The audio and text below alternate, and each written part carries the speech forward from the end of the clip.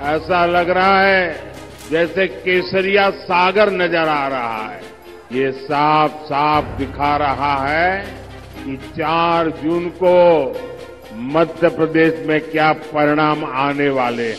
अब लोकसभा चुनाव में तो कांग्रेस के लोग भाजपा से नहीं लड़ रहे हैं, एक दूसरे से लड़ रहे हैं।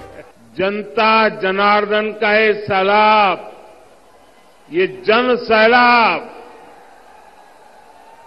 ऐसा लग रहा है जैसे केसरिया सागर नज़र आ रहा है।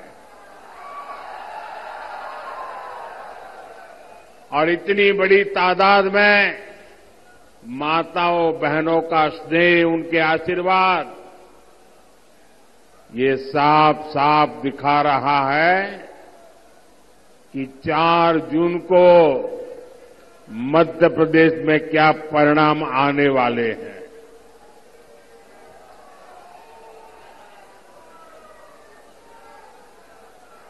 चार पाँच महीने पहले विधानसभा चुनाव में ही यहाँ आप सब लोगों ने मिलकर के कांग्रेस को पूरी तरह साफ़ कर दिया। अब लोकसभा चुनाव में तो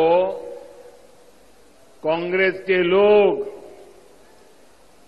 भाजपा से नहीं लड़ रहे हैं, एक दूसरे से लड़ रहे हैं।